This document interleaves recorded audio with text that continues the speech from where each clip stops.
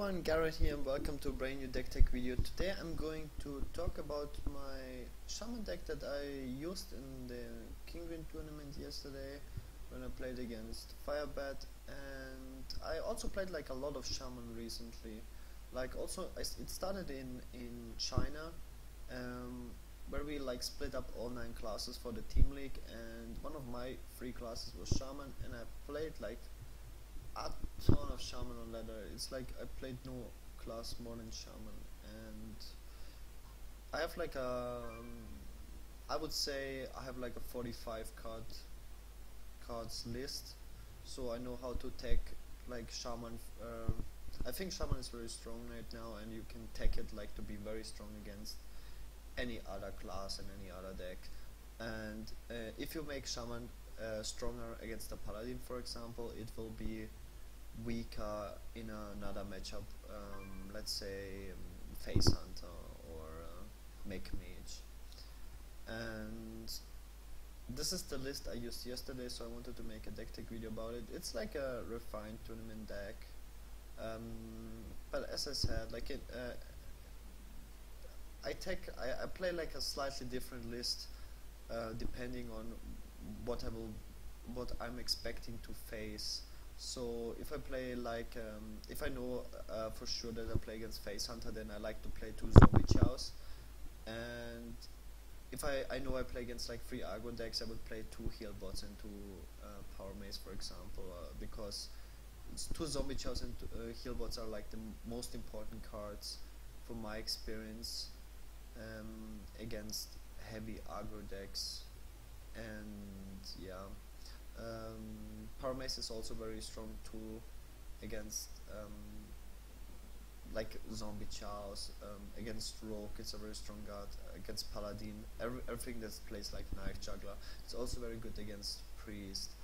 Um, but since you don't play too many mechs, I will go over the deck list here in a second.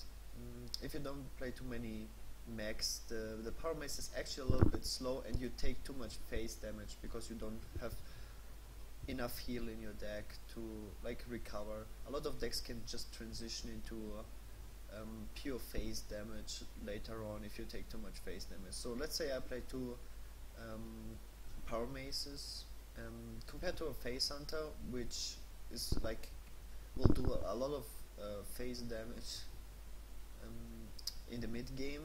Uh, a shaman is more like um, board control deck, so if you take too much face damage, you, you might have the uh, bot control, but you'd still die to like firebolts or like a blade flurry plus eviscerate or something. So taking too much face damage, as I said, is not that good. So usually one power mace is like the um, the sweet spot.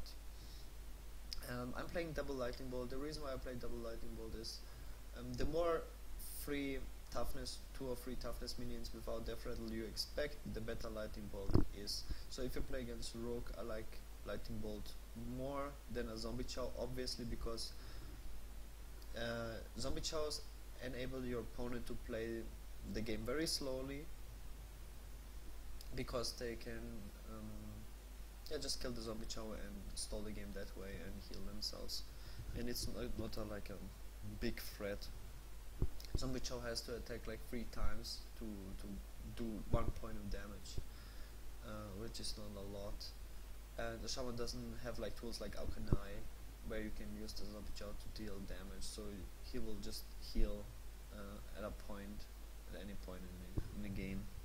So um, so this deck is like more aggressive because I play the lightning bolts and don't play the zombie chows um, it has the double crackle, it has the double lightning bolts, uh, rock biters with Al'Akir, the flame totems, fire elementals, Doctor Boom also does like a lot of damage, power mace, um, so you can transition in the mid game to just try to kill your opponent with, with the crackle. A lot of the times when he's like um, at 14, 15 life in the mid mid game and you have a crackle, you, you can go for, for the lethal push crackle can do if you have a spell power totem up it sometimes it does up to 7 damage it's like insane it's it's like a fireball for 2 mana it's even better than a fireball um, at times. Um, so uh, yeah, I've played the double Earthshock just in case you play against Handlock, obviously, and it is very there's like too many rattle minions. I try to cut it. Sometimes I play owl.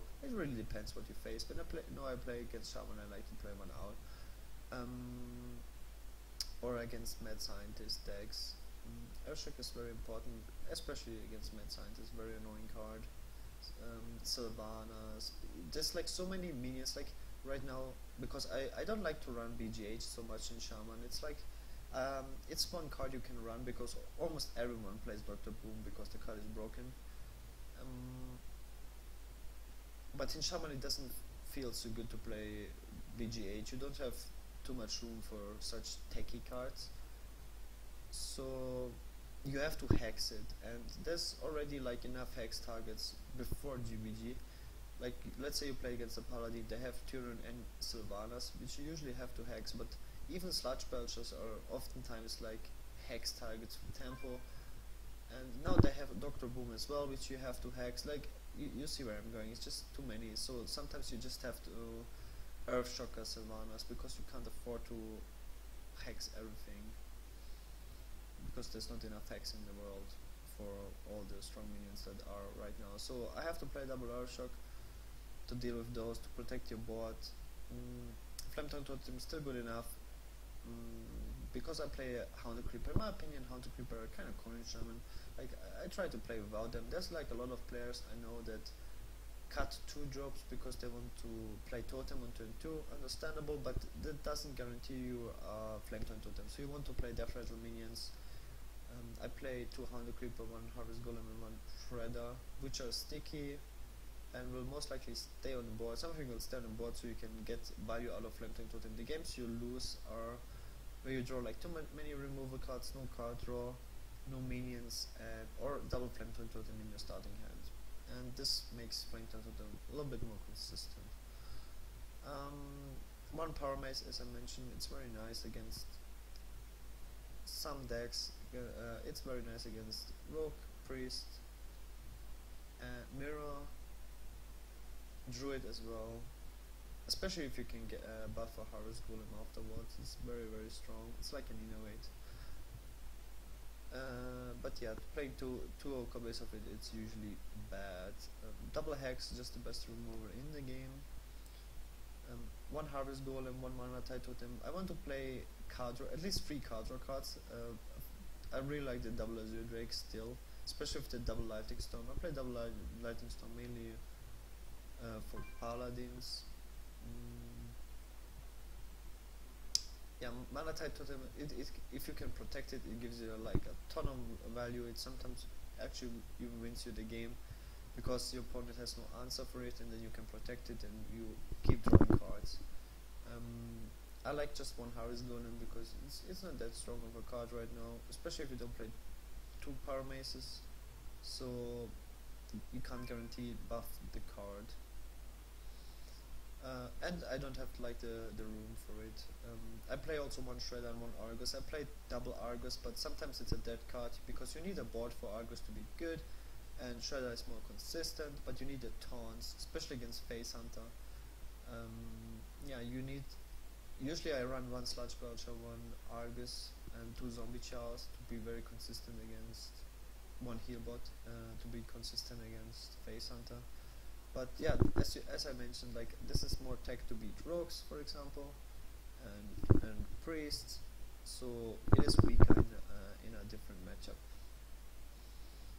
Uh, if I knew I would play against Handlock I would take in one BGH for example as well. Um, yeah one Healbot it's very good. Also against freeze mage I think this card kinda makes the matchup